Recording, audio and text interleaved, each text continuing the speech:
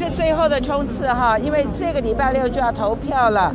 那从今天算起，只剩下五天哈，所以我想我还有我们的州议员林佩涵议员，还有罗廷伟议员哈，那今天在南区我们全力冲刺。那所以路口拜票是很有效的方法，谢谢。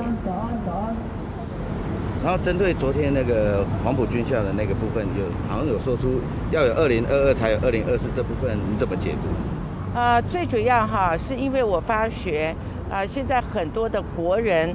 对于台湾的前途非常的担心，那也因此呢，我们鼓励民众不要小看二零二二只是一个地方选举，二零二二选对人走对的路，二零二四才有改变的机会。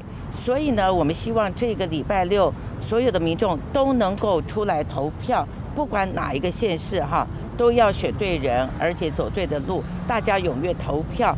这样子，二零二四才有改变的机会，大家一起努力。那永远假设他选赢了，那对岸就不敢不敢公布，还是跟这个有关？还有这么神吗？